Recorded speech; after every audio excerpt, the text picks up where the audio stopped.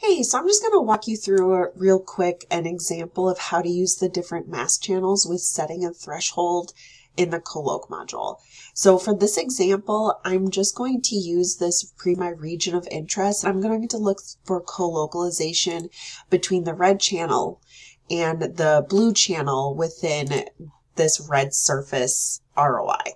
So what I need to do is make a mask binary channel of everything that's inside this red surface, and that is going to be marking my region of interest. I'm not going to use it for anything else besides the ROI.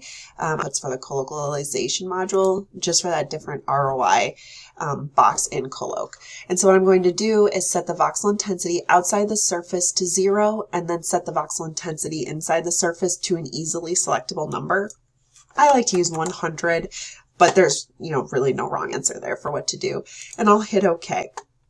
I can at this point create another mask channel that uh, maintains my channel intensities within the surface if I want to. I don't have to because I'm only going to be looking for co-localization within this region, but I can do that too. So if I want to make a mask channel and use that as my input as either channel A or channel B in Coloc, I would do that, but leave this box unchecked to set the voxel intensity inside the surface. So as long as this is set or unchecked, the intensity values for whatever channel is up here in the channel selection, it will be maintained.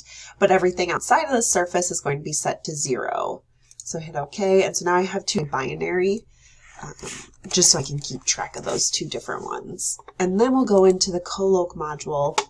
And what I'm going to do here is select my region of interest. So I'm going to define a region of interest, tell the program that is a mask data set, go down here and select that mask binary channel.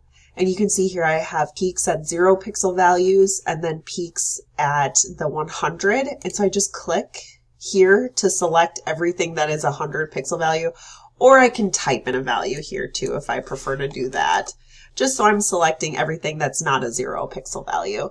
And if I zoom in here, I can also shut off all of my other channels.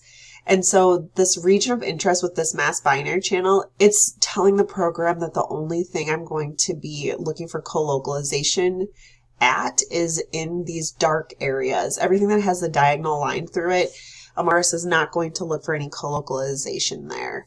So then next I can use my mask channel that I created and my blue channel that's there and look for co-localization in these regions. So I can go up to the channel A and select my mask channel that's not a binary and then the DNA channel, my second channel and then I can select calculate thresholds, say yes, and then it does calculate it, no problem there, it works successfully. I can then build my Coloc channel if I want to, and then get those actual real results, because we don't want to use any estimated statistics here, we have to build the Coloc channel. But then to show you that the mask binary channel does not work, I'll select this button here, and then select calculate threshold, and I get that same error message you got before when you use that mask binary channel. And that's because there's no actual variability in the signal. So the program doesn't know how to detect a threshold because there isn't any variability and you need that.